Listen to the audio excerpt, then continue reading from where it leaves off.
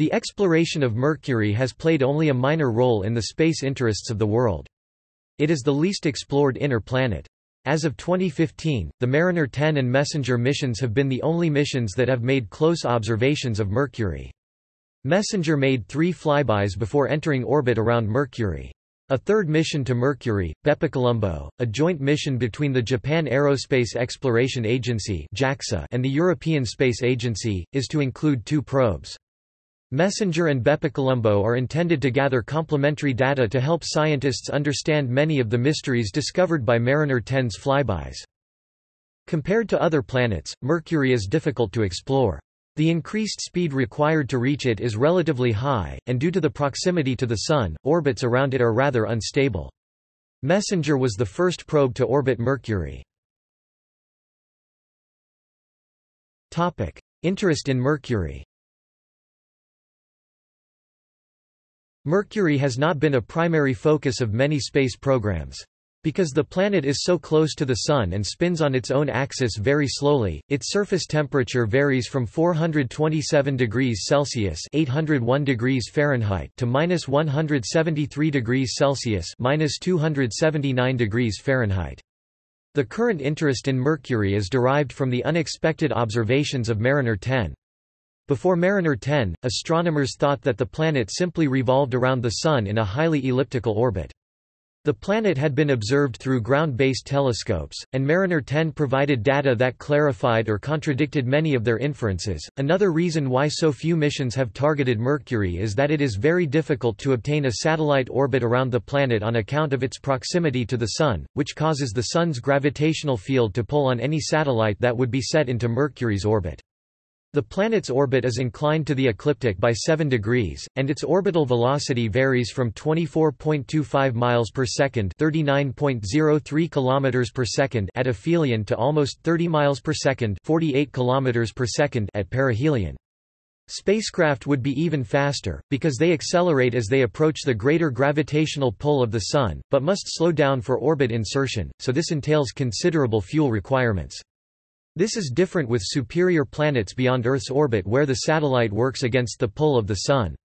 Therefore, reaching an orbit around Mercury requires especially expensive rocketry. Mercury's lack of an atmosphere poses further challenges because it precludes aerobraking. Thus a landing mission would have even more demanding fuel requirements. Topic: Missions Past missions Mariner 10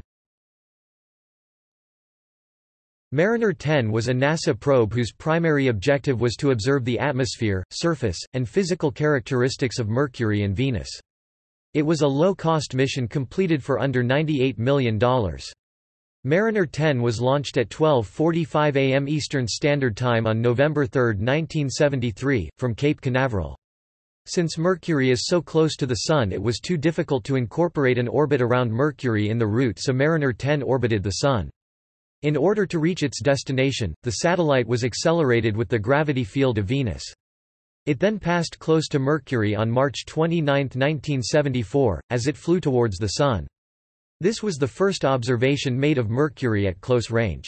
After the encounter Mariner 10 was in an orbit around the Sun such that for every one of its orbits Mercury made two, and the spacecraft and the planet would be able to meet again.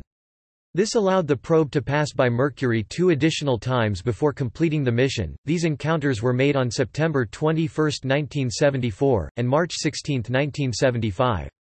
However, since the same side of Mercury was illuminated during each of the flybys, at the conclusion of the mission Mariner 10 had only photographed 45% of its surface. The mission ended when the probe's attitude control gas ran out on March 24, 1975.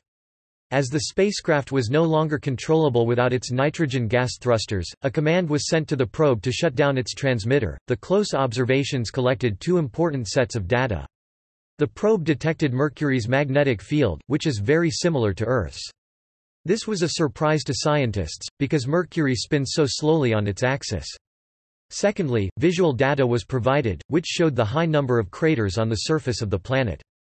The visual data also allowed scientists to determine that Mercury had not experienced significant crustal modification. This also added to the mystery of the magnetic field, as it was previously believed that the magnetic fields are caused by a molten dynamo effect, but since there was little crustal modification this undermined that idea.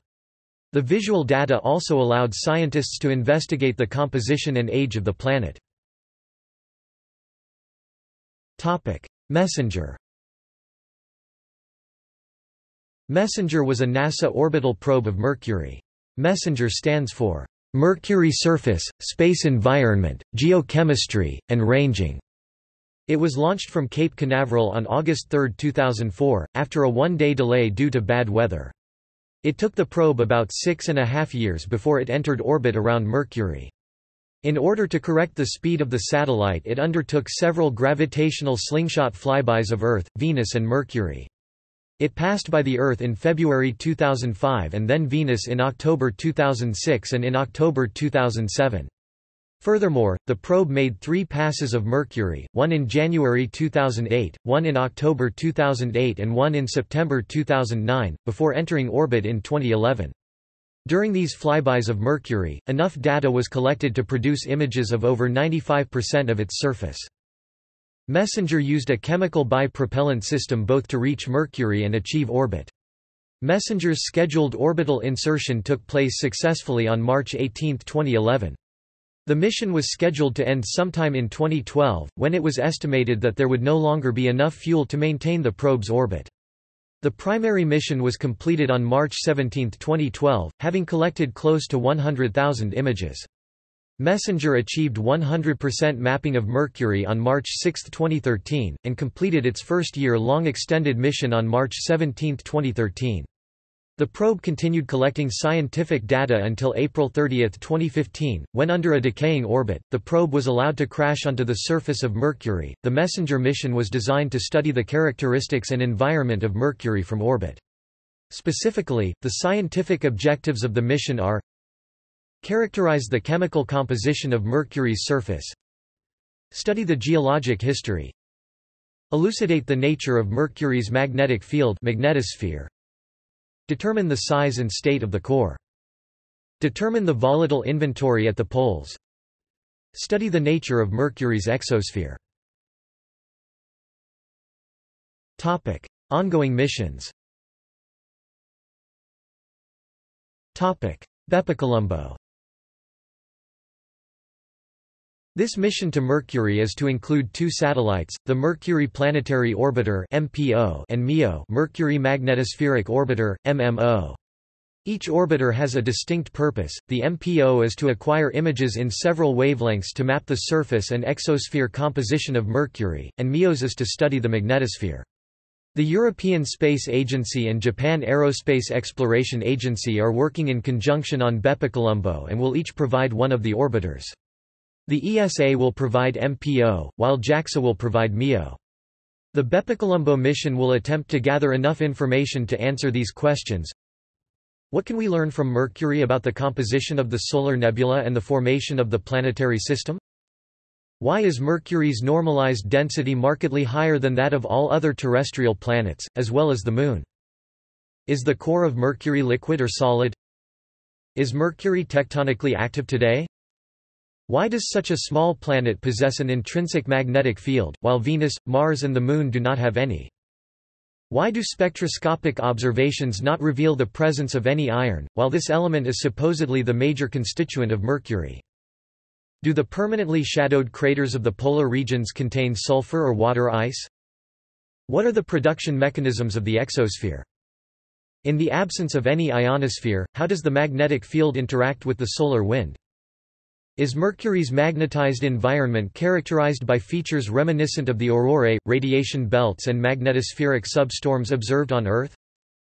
Since the advance of Mercury's perihelion was explained in terms of space-time curvature, can we take advantage of the proximity of the Sun to test general relativity with improved accuracy? Like Mariner 10 and Messenger, BepiColombo will use gravity slingshots from Venus and Earth. BepiColombo will use solar electric propulsion ion engines and then also use similar maneuvers at the Moon, Venus, and Mercury. These techniques will slow the orbiters as they approach Mercury.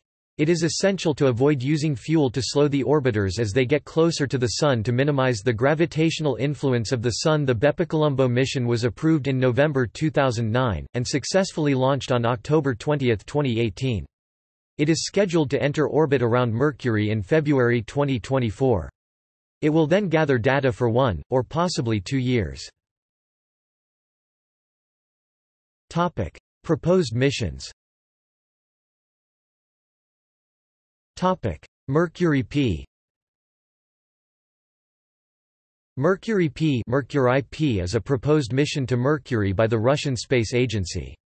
The currently anticipated launch date is 2031. It is planned to be a lander.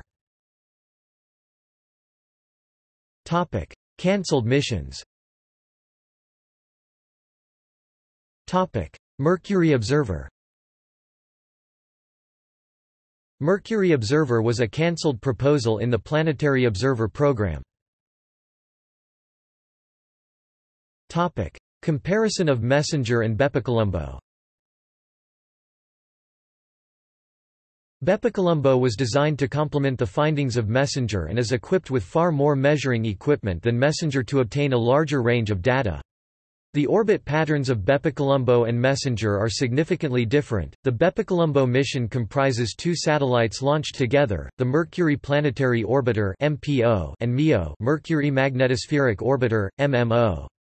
The MPO will have a circular orbit much closer to Mercury. The reason for this orbit is that the MPO will be measuring the composition of the surface and exosphere, and the close orbit will aid on data quality.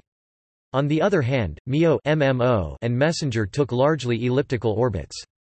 This is because of the stability of the orbit and the lower amount of fuel required to obtain and maintain the orbit. Another reason for the different orbits of MMO and MESSENGER was to provide complementary data. The data of the two combined satellites will provide more accurate measurements. See also Colonization of Mercury Topic. References Topic. External links Mariner 10 Messenger probe Shirley, Donna L. August 2003. The Mariner 10 mission to Venus and Mercury. Acta Astronautica, August 2003, Volume 53, issue 4-10, p. 375, 11 p. and 11471527.